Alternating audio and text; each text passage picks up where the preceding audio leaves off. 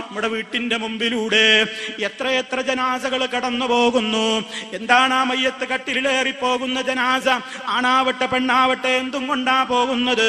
അല്പം പഞ്ഞിയും കഫൻ പുടവയുമല്ലാതെ ഏത് സമ്പന്നനാണെങ്കിലും ഏത് സമ്പന്നയാണെങ്കിലും നൂറുകണക്കിന് പവൻ സ്ത്രീധനം കിട്ടിയ പെണ്ണാണെങ്കിലും അത് കൊടുത്തവനും തെറ്റ്. ആ രൂപത്തിൽ അത് ചോദിച്ചു വാങ്ങിയവനും തെറ്റ്. അതും ഇവിടെ ഇട്ടുകൊണ്ടാ പോകുന്നത്.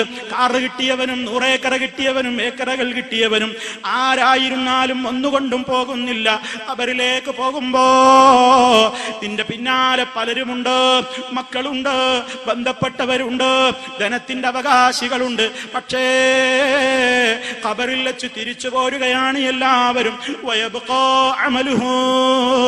നാം ചെയ്ത നിസ്കാരം നമ്മുടെ നോമ്പ് നമ്മുടെ സക്കാത്ത് നമ്മുടെ ഹജ്ജ് നമ്മുടെ ദിക്കറ് നമ്മുടെ സ്വലാത്ത് നമ്മുടെ ഖുർആാനോത്ത് നമ്മുടെ നന്മ കാണൽ നമ്മുടെ നല്ല സദസ്സിൽ പങ്കെടുത്തത് നല്ലത് പ്രചരിപ്പിച്ചത് നല്ല സ്ഥലങ്ങളിലേക്ക് പണം കൊടുത്തത് ആ രൂപത്തിലുള്ള സർവ അമലുകളും മാത്രം ബാക്കിയായി. എല്ലാവരും വിട്ടുപോരുമ്പോ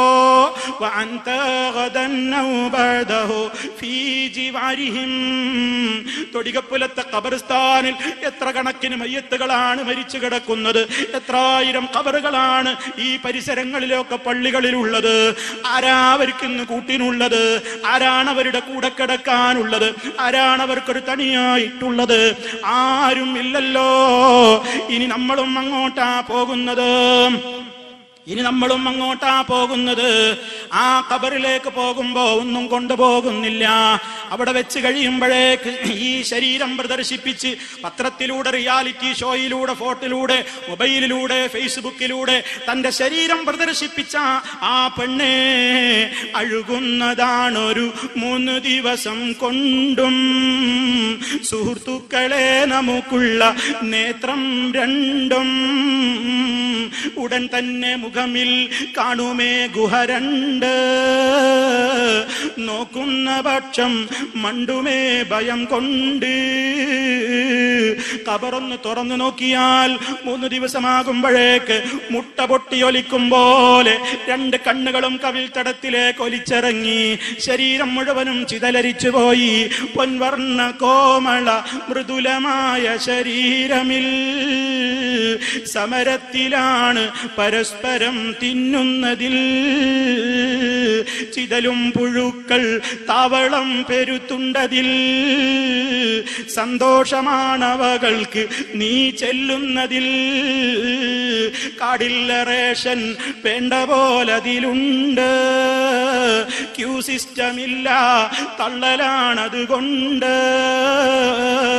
പ്രിയപ്പെട്ട സഹോദരന്മാരെ ഇന്ന് നമ്മൾ മരിച്ചു കഴിഞ്ഞാൽ തൊടികപ്പുലത്തെ കബറിസ്ഥാനിലോ പണിയമ്പലത്തെ കബറിസ്ഥാനിലോ ലോകത്ത് എവിടെയെങ്കിലും എവിടെയുള്ള കബറിസ്ഥാനിലും വെച്ച് കഴിയുമ്പോ അതേ ഈ ബോഡി അങ്ങ് നശിച്ചു പോവുകയാണ്. ചതലും പുഴുക്കളും പാമ്പും കാത്തിരിക്കുകയാണ്.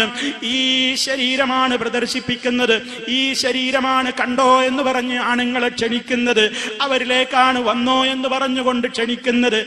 ഇങ്ങനെ പടച്ചറബിന് ഭയമില്ലാതെ ജീവിക്കുന്ന ഒരു യുവസമൂഹം അതേ ആ രൂപത്തിലുള്ള കാര്യങ്ങളൊക്കെ ചിന്തിക്കാതെ കണ്ട് കബറിലെത്തുമ്പോ അവിടെ ചോദ്യമില്ലേ പ്രിയമുള്ളവരെ? മഷറിലെത്തുമ്പോ പറയണ്ടേ മറുപടി? നിന്റെ ബോഡിയെ കുറിച്ച് മറുപടി പറയണ്ടേ? അറിവിനെ കുറിച്ച് പറയണ്ടേ? യൗവനത്തെ കുറിച്ച് പറയണ്ടേ? ആയുസ്സിനെ കുറിച്ച് പറയണ്ടേ? പണത്തെ കുറിച്ച് പറയണ്ടേ?